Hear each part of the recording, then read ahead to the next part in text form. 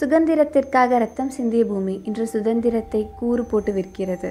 வணக்கம் நண்பர்களே நான் உங்கள் தோழி சிவானி நம்ம இன்னைக்கு பரங்கிப்பேட்டையில் நடந்த ஒரு போரை பற்றி தெரிஞ்சுக்க போகிறோம் ஆயிரத்தி எழுநூற்றி எண்பத்தி ஒன்று தமிழ்நாட்டில் உள்ள கடலூர் மாவட்டத்தில் இருக்கிற ஒரு சின்ன ஊர் பரங்கிப்பேட்டை. அங்கே ஒரு பெரிய போர் நடந்தது. அது சுதந்திரத்திற்காக வெள்ளையர்களை எதிர்த்து நடந்தது. இந்த போரில் வெள்ளையர்களுடைய ஈஸ்ட் இந்தியா கம்பெனியை எதிர்த்து மைசூர் மகாராஜா ஹைதர் அலி போர் தொடுத்தாரு. இந்த போரில் ஆங்கிலேயர்களோட படையில் வெறும் எட்டாயிரத்தி நானூற்றி எழுபத்தி ஆறு பேர் தான் இருந்தாங்க.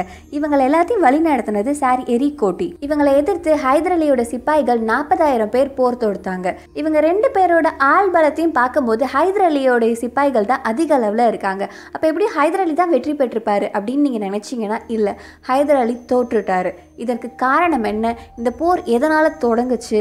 எப்படி இது முடிஞ்சது? அப்படின்ட்டு நம்ம இந்த வீடியோவில் தெரிஞ்சுக்கலாம். பல வருஷங்களுக்கு முன்னாடி மைசூரை ஆட்சி பண்ணிட்டு இருந்த ஹைதர் அலி அவரோட ஆட்சிக்கு உட்பட்ட பகுதியில் இருக்கிற மக்களை ரொம்ப செல்வத்துடனும் செழிப்புடனும் வச்சிருந்தாரு. இதை பார்த்து அவங்க பக்கத்து நாட்டில் இருந்த ஹைதராபாத்தோடைய நிசாம் மற்றும் மராத்தியர்கள் ரொம்ப பொறாமப்பட்டாங்க. ஆயிரத்தி எழுநூத்தி அறுபத்தி ஆறு மராத்தியர்கள் ஹைதர் அலியை எதிர்த்து போர் தொடுக்கிறாங்க. இந்த போரை வந்து அவர் சமாதானப்படுத்துறதுக்காக மராத்தியர்களுக்கு கொஞ்சம் காசு கொடுத்து சமாதானம் பண்ணிடுறாரு.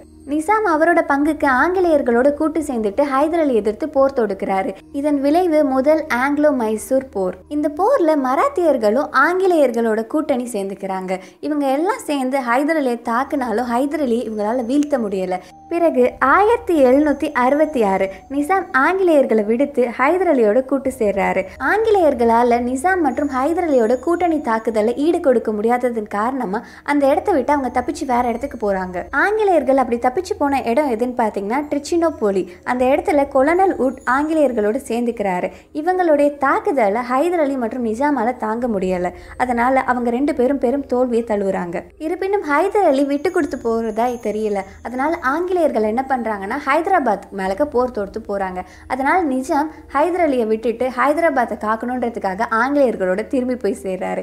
இவர் சேர்ற ஆண்டு ஆயிரத்தி எழுநூத்தி அறுபத்தி ஒன்பது. தளராத நெஞ்சம் கொண்ட ஹைதர் அலி ஆயிரத்தி எழுநூத்தி அறுபத்தி ஒன்பதாம் ஆண்டு ஆங்கிலேயர்களோட ஆட்சிக்கு கீழே இருக்கிற மெட்ராஸை நோக்கி போறாரு போர் தொடுக்கிறதுக்காக. இந்தியாவிலேயே மிகப்பெரிய சேனைகளில் ஒன்றான ஹைதர் அலியோட சேனை ஆங்கிலேயர்களை மெட்ராஸில் வீழ்த்தது.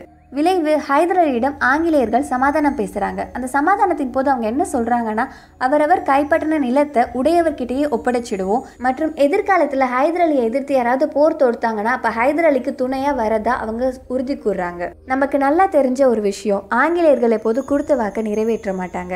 ஆயிரத்தி எழுநூற்றி எழுவத்தி ஒன்று மராத்தியர்கள் ஹைதர் அலியை எதிர்த்து போர் தொடுத்தாங்க. ஆனால் அப்போது ஆங்கிலேயர்கள் ஹைதர் அலிக்கு உதவி புரிய வரல. இது மட்டுமின்றி ஆயிரத்தி எழுநூற்றி எழுவத்தி ஒன்பது ஹைதர் அலியோடைய கட்டுப்பாட்டில் இருந்த பிரெஞ்சு மக்கள் வாழ்ந்துட்டு இருந்த மாஹின்ற பகுதியை ஆங்கிலேயர்கள் கைப்பற்றுறாங்க. ஆங்கிலேயர்களோட இந்த செயல் ஹைதர் அலியை மிகவும் கோவப்படுத்துது. மேலும் அவர் ஆங்கிலேயர்களை எதிர்த்து போர் புரியணுன்றதுக்கான தீயையும் மூட்டி விடுது ஆயிரத்தி எழுநூற்றி எண்பது ஆங்கிலேயர்களோட ஆட்சிக்கு உட்பட்ட பகுதியான கர்நாடகாவின் மீது ஹைதர் அலி போர் தொடுக்கிறாரு. ஆங்கிலேயர்கள் இரு பிரிவினராக பிரிஞ்சு ஹைதர் அலியை எதிர்க்கிறதுக்கு முடிவு பண்ணுறாங்க அதில் ஒரு பிரிவினரை கொலனல் பெய்லியும் இன்னொரு பிரிவினரை சார் ஹெக்டர் முன்ரோவும் வழி நடத்துகிறாங்க காஞ்சிபுரம் என்னும் பகுதியில் கொலனல் பெய்லியோடைய சிப்பாய் கூட்டத்தை திப்பு சுல்தான் எதிர்த்து போர் புரிகிறாரு அதில் கொலனல் பெய்லியோடைய சிப்பாய் கூட்டம் சில்லு சில்லா உடைஞ்சு போகுது. ஹெக்டர் முன்ரோ காஞ்சிபுரத்துக்கு வெளிப்பகுதியில் பெய்லியோடைய போர்க்கூட்டம் வரணுன்றதுக்காக காத்துட்டு இருக்காரு ஆனால் பெய்லி வராததன் காரணமாக அவர் ரொம்ப சோர்ந்து போயிட்டு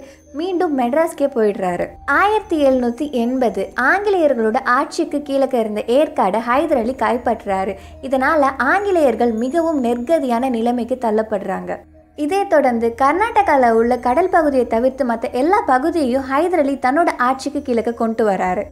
இதெல்லாம் பார்த்த ஈஸ்ட் இந்தியன் கம்பெனியோட கவர்னர் ஜெனரலான வேரன் ஹாஸ்டிங் சிறிதும் மனம் தளரலை. அவர் ஒரு சூழ்ச்சியை ஏற்படுத்துகிறாரு அந்த சூழ்ச்சி என்னன்னா நிசாம் ஆஃப் ஹைதராபாத் மற்றும் மராத்தியர்களை தன் வசப்படுத்தி ஹைதராலிக்கு எதிராக அவங்கள திருப்புறது தான் அது. அது என்னன்னா அவங்க கிட்டேருந்து பறித்த பறிச்ச நிலங்களை திருப்பி அவங்கள்ட்ட கொடுக்கறதன் மூலயமா அவங்க ரெண்டு பேரும் ஆங்கிலேயர்கள் வசம் வந்துடுவாங்க அப்படின்ட்டு அவர் நினைக்கிறாரு. அவர் நினைச்சது போல நடக்குது. இதன் பிறகு இரண்டாவது ஆங்கிலோ மைசூர் போர் தொடங்குது. ஆயிரத்தி எழுநூத்தி எண்பது கிழக்கு தொடர்ச்சி மலையில இருக்கிற ஒரு கிராமம் ஆங்கிலேயர்கள் பெரும்பாலும் வசிக்கிற இடமா இருந்திருக்கு. இருக்கு. அந்த இடத்துக்கு ஹைதர் அலி நெருப்பு வச்சிருக்காங்க. ஆங்கிலேயர்களிடம் அந்த அளவுக்கு பெரிய அறிவு இல்லாததன் காரணமா அதை ஹைதர் அலி தான் பண்ணியிருப்பாங்கன்ட்டு அவங்களால கண்டுபிடிக்க முடியாம போச்சு. இதன் பிறகு வேரன் ஜெனரல் எரிகோட் கிட்ட ஒரு பெரிய சிப்பாய் படையை கொடுத்து ஹைதர் அலியை எதிர்த்து போரிடுன்ட்டு உத்தரவிடுறாரு. எரிகோட் ஹைதர் அலியோட ஆட்சிக்கு கீழே இருக்கிற கடலூர் மற்றும் அதனை சுற்றியுள்ள பகுதியை கைப்பற்றாரு. எரிகோட் மற்றும் ஹைதர் அலி பரங்கிப்பேட்டையில சந்திக்கிறாங்க. அந்த இடத்துல அவங்க போரும் புரியுறாங்க. இந்த போர் தொடர்ந்து நாலு வருஷம் நடந்தது. நாலு தடவை எரிய எதிர்த்து நிக்க